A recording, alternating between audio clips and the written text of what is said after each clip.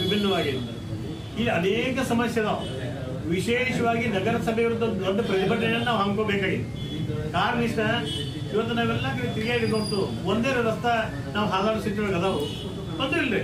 ಆದ್ರೆ ನಾವು ರಾಜಕೀಯ ಪ್ರೇರಿತ ಹೋರಾಟ ಅನ್ನುವಂಥ ಒಂದು ಸ್ವರೂಪ ಬಡಿಬಾರ್ದು ಅನ್ನೋ ಸಲುವಾಗಿ ಇವತ್ತಿನ ಮಟ್ಟ ಕಾದು ನಾನು ಇತ್ತಿತ್ತಾಗಿ ಒಂದು ಎರಡು ಮೂರು ತಿಂಗಳಿಂದ ಕಮಿಷನರ್ಗೆ ಭೇಟಿಯಾಗಿದೆ ಭೇಟಿಯಾಗಿ ರಸ್ತೆ ರೀತಿಯ ಸಲುವಾಗಿ ವಿನಂತಿ ಮಾಡ್ಕೊಂಡು ಅವ್ರು ಸರಳ ಹೇಳ್ಬಿಟ್ಟು ನಮ್ಗೆ ದುಡ್ಡ ಇಲ್ಲ ಅಂತ ಹೇಳುವ ನಗರಸಭೆಗೆ ಅಲ್ಲಿ ಉಳಿದಿದ್ದಕ್ಕೆಲ್ಲ ದುಡ್ಡು ಐತಿ.